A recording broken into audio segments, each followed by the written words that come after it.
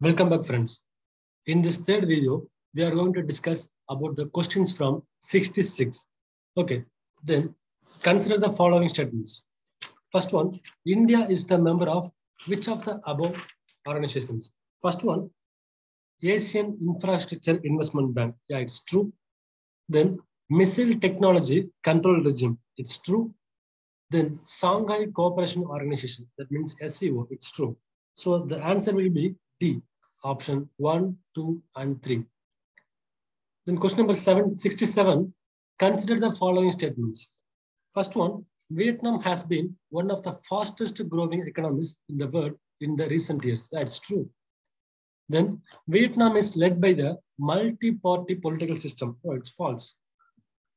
Then Vietnam's economic growth is linked to its integration with global supply chains and focus on exports. That's true. Then, for a long time, Vietnam's low labor cost and state stable exchange rates have attracted global manufacturers. Yeah, it's true. Then Vietnam has the most productive e-service sector in the Indo-Pacific region. No, it's false. So the final answer will be option C, 1, 3, and 4. Then question number 68. In India, which one of the following is responsible for maintaining price stability by controlling inflation? Option B, Reserve Bank of India. Then question number 67, 69. With reference to non-fungible tokens, that means NFTs, consider the following statements. They enable the digital representation of physical assets. that's true. They are unique cryptographic tokens that exist on blockchain. that's true. Then they can be traded or exchanged at equivalency and therefore can be used as a medium of commercial transaction. That's true. So the answer will be option D, option 1, 2, and 3. Then consider the following pairs. They give reservoirs and state located it. First one, Ghataprabha. They give, just to focus, how many pairs given are the above or not correctly matched? Okay, they are asking about not correctly matched. So consider the Ghataprabha is located in Karnataka. So it is false. The Gandhi Sagar, it's located in Madhya Pradesh. It's true. Then Indira Sagar, it is located in Madhya Pradesh. So it is also false. Then Maithon is located in Jharkhand. It's also false. So only one such pair is correct. But they're asking about not correctly matched. So the answer will be C. Only three pairs were not correctly matched. Then question number 71. In India, which one of the following compiles information on industrial disputes, closures, retrenchments, and layoffs in the factories employing workers? So the answer will be Labor Bureau, option C. Then question number 72. In India, what is the role of the Coal Controllers Organization? That means CCOs. Option 1. CCO is the major source of coal statistics in government of India. Yeah, it's true. Then it monitors progress of development of capital coal or lignite blocks. That's also true. Then it hears any objection to the government's notification relating to acquisition of coal bearing areas. That's also true. It ensures that coal mining companies deliver the coal to end users in the prescribed time. No, it's false. So the correct answer will be option A, 1, 2, and 3. Then question number 73. If a particular area, is brought under the fifth schedule of the Constitution of India, which one of the following statements best reflects the consequences of it? Option A. This would prevent the transfer of land of tribal people to non-tribal people. So option A is the answer. Then question number 74. Consider the following statements. They are asking about correct statement. Okay. The first option will be the Indian Sanitation Coalition is the platform to promote sustainable sanitation and is funded by the government of India and the World Health Organization. No, it's false. Then the National Institute of Urban Affairs is an apex body of the Ministry of Housing and Urban Affairs in government of India and provides innovative solutions to address the challenges of urban area. No, it's also false. So the answer will be neither one nor two. Then question number 75. Which one of the following has been constituted under the Environmental Protection Act 1986? So The answer will be option C, Central Government Groundwater Authority. Then 76, with reference to the United Nations Credential Committee, consider the following statements. Option one, it is the committee set up by the UN Security Council and works under its supervision. No, it's false. Option two, it traditionally meets in March, June, and September every year. No, it's also false. It assesses the credential of all UN members before submitting a report to the General Assembly for approval. Yeah, it's only true. So the answer will be option A. Then, which one of the following statements best describes the Polar Code? Option A. It is the international code of safety for ships operating in polar waters. Then question number 78.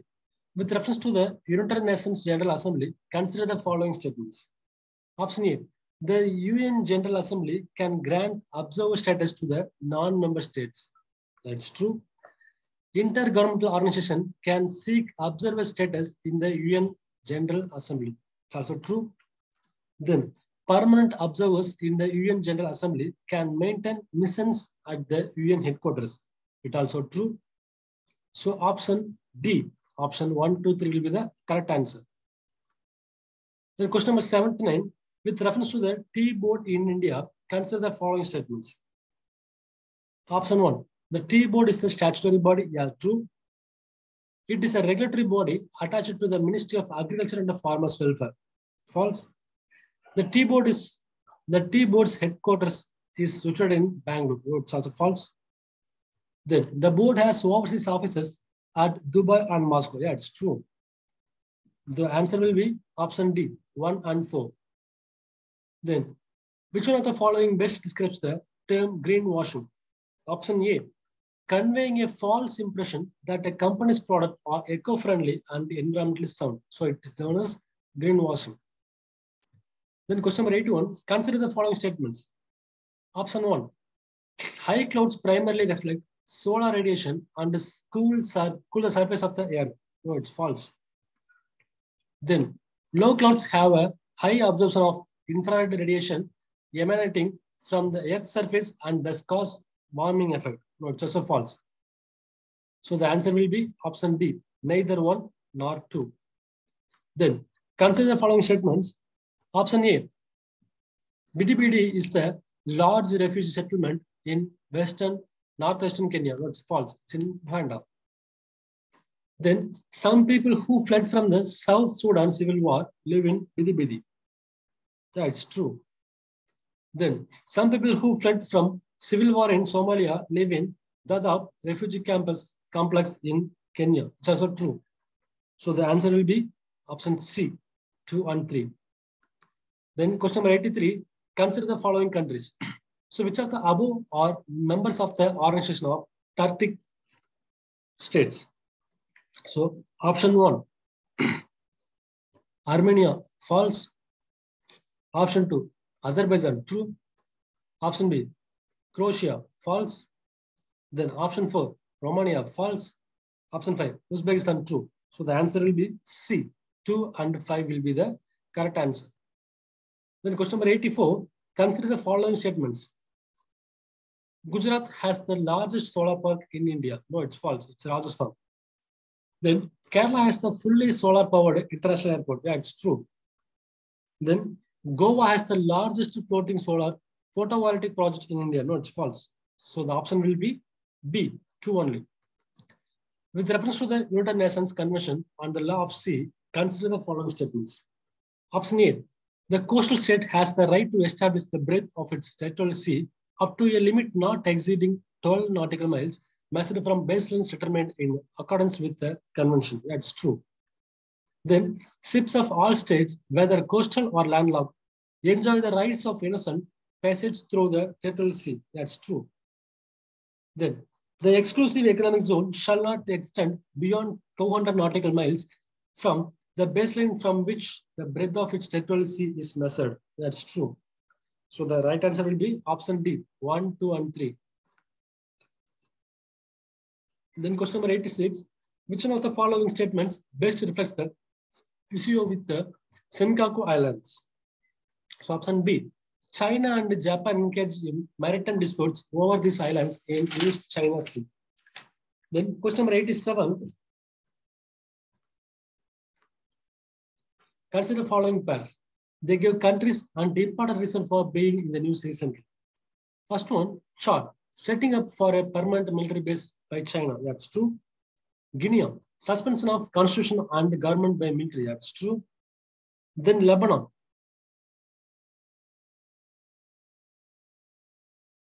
Sorry for the inconvenience. So 87, short, setting up permanent military base by China. It's false. And then Guinea, suspension of constitution and government by military. That's true. Lebanon, severe and prolonged economic depression. That's true. Tunisia, so suspension of parliament by God, president. That's true. So the answer will be how many pairs are given correctly matched? Only three pairs. Then question number 88. Consider the following pairs. Region often mentioned in the news and which of the countries? Option one. Anatolia, Turkey, that's true. Amhara, Ethiopia, is true. Then Cabo Delgado, Delgado, so it's in Mozambique, so it's false. Then Catalonia, it's in Spain, but also false. So, so how many such pairs are correctly matched? Only two pairs. Then, with reference to Indian laws about wildlife protection, consider the following statements. 89. Wild, wild animals are the sole property of the government. That's true. When the wild animal is declared protected, such animal is entitled for equal protection, whether it is found in protected areas or outside. Yeah, it's true. Apprehension of a protected wild animal becoming a danger to human life is sufficient ground for its capture or killing. No, it's false. So the answer will be option A. 1 and 2 will be the correct answer. Then 19. Certain species of which one of the following organisms are well known for the well known for as a cultivators of fungi. So answer A. And then consider the following statements. Site of Asoka, major rock edicts, and location of the state in which. First one, Dhauli, Odisha, correct. And Erragudi, it is in Andhra Pradesh, it's correct. And Jagada, it's in Odisha, so it's false. Then Kalsi, it's in Uttarakhand, so it's also false. So how many such pairs are currently matched? Only two pairs. Then they're giving the king and the king belongs to the dynasty. First one, Nannuka. He belongs to Chandela dynasty. That's true. Jayashakti. He belongs to Chandela dynasty. So it's false. Sin. Nagabhata too. He belongs to Gurjara Pratihara. So true. And Bhoja. He belongs to Pratihara. So it's also false. So how many such pairs are correct? Only two pairs. Then, which of the following statements about the Sangam literature in ancient South India is correct? Option B, the social classification of Varna was known to Sangam poets. Yeah. Then 20, 94, Yoga Vasistha was translated into Persian by the Nizamuddin Panipati during the region of Akbar. Option A. Then question number 95, the world's second tall statue in sitting pose of Ramanuja was inaugurated by the Prime Minister of India at Hyderabad recently. Which one of the following statements correctly represents the teaching of Ramanuja? So, option A, the best means of salvation was devotion. Then, 96, the Prime Minister recently inaugurated the new circuit house near Somnath Temple at Veraval. Which of the following statements are correct regarding the Somnath Temple? So option A, the Somnath temple is one of the Jyotirlinga shrines, uh, correct? The description of the Somnath temple was given by Al-Biruni, it's true. The Pran Pratishtha of Somnath temple, that means installation of the present day temple was done by the president of present S. Radhakrishnan, no, it's false. So the answer will be option A, 1 and 2 only. The 97th question, which of the following statements best describes the role of B cells and T cells in human body? Option D, they protect the body from the disease and caused by the pathogens. The 98, consider the following statements. First one, other than those made by the humans, nanoparticles do not exist in nature. No, it's false. Then, nanoparticles of some metallic oxides are used in the manufacture of some cosmetics. That's true. Then nanoparticles of some commercial products which enter the environment are unsafe for humans. That's true. So the answer will be option D, 2 and 3. Then question number 99. Consider the following statements. DNA barcoding can be a tool to first one, assess the age of the plant or animal. That's false. Distinguish among species that look alike. That's true.